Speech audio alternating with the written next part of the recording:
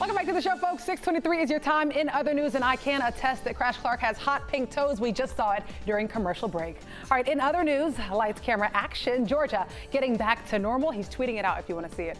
There are now more than 45 TV shows and movies being filmed in the state right now, and the state tax incentive is doing what it's supposed to do and encouraging productions to happen here. Some big titles include Stranger Things, Family Feud, and Sweet Magnolias. If you'd like to read more about the filming and how you can get involved with your family, just head to 11alive.com. Family Feud is now casting.